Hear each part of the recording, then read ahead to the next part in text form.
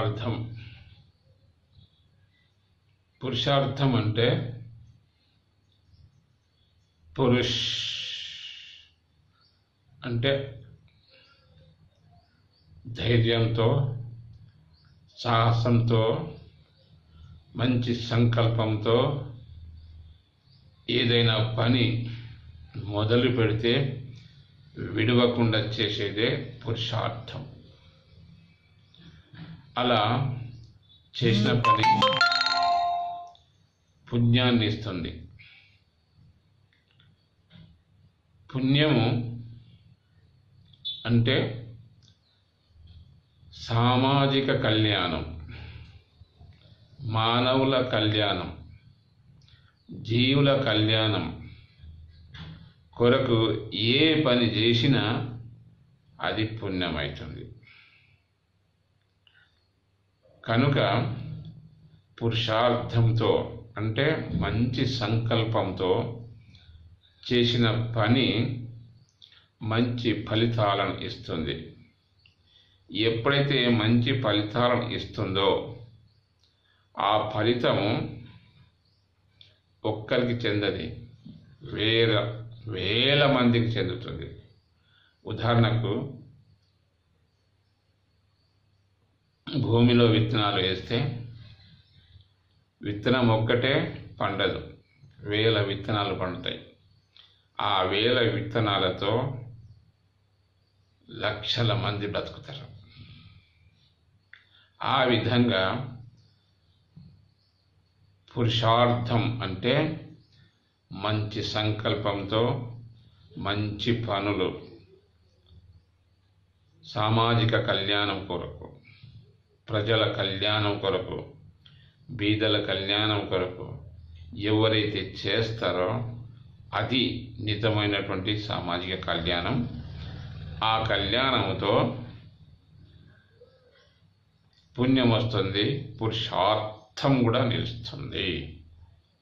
ఈ వాస్తవాన్ని తెలుసుకోకుండా కళ్యాణం అంటే స్త్రీ పురుషులను కలపడము లేదా పెళ్ళి చేయడము అనుకుంటారు. లేదా దేవుళ్ళ పెళ్ళి చేయడం అనుకుంటారు. దేవుళ్ళ పెళ్ళి చేస్తే ఏమవుతుంది ఏమొస్తుంది? పోనీ దేవుళ్ళ పెళ్ళి కాకుండా బొమ్మల పెళ్ళి చేస్తే ఏమొస్తుంది? పూర్వము దేవుళ్ళ పెళ్ళిళ్ళు ఎందుకు చేశారంటే వాళ్ళు పురుషార్థంతో బ్రతకారు కాబట్టి వాళ్ళ పెళ్ళిళ్ళు చేశారు. ఇప్పుడు మీ పెళ్ళిళ్ళు కావాలి. మీ పెళ్ళిళ్ళు కావాలంటే దేవుళ్ళ పెళ్ళిళ్ళు దేవీళ్ళ కళ్యాణం చేయడం కాదు. మీ కళ్యాణం కొరకు మీరు మంచి సంకల్పాలు తీసుకొని పనిచేయాలి. చేసినట్టయితే రాబోయే తరం వాళ్ళు మీకు కళ్యాణం చేస్తారు అని అనుకోవాలి. ఆ కళ్యాణం ఎలా చేస్తారంటే మీరు చేసిన ఫలితాలు వచ్చే తరానికి అందినట్టయితే వాళ్ళు మీకు కళ్యాణం చేస్తారు. లేకుంటే కళ్యాణం చేయరు ఈ ప్రపంచంలో ఎవరెవరికి ఎవరైతే కళ్యాణం చేస్తున్నారో వాళ్ళ ద్వారా సమాజా సమాజంలో కళ్యాణం జరిగింది. ఎంతో మందికి ఉపయోగం జరిగింది. కనుక ఈ వాస్తవాన్ని గ్రహించి కేవలము